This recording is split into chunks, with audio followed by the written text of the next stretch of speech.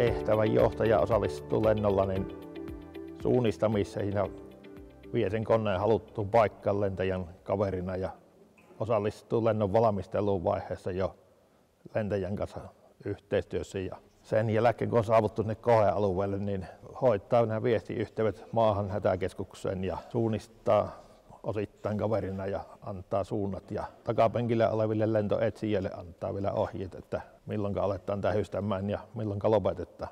Eli toimintaan pääsee mukaan ilmoittautumalla Suomen lentopelastusseuran halukkuutensa ja sen jälkeen lentoetsijän peruskurssille ja siitä edetään tehtävänjohtajan kurssille ja sen jälkeen lentäjäksi kurssille ja sen jälkeen on sitten vielä kouluttajan kurssit päällä.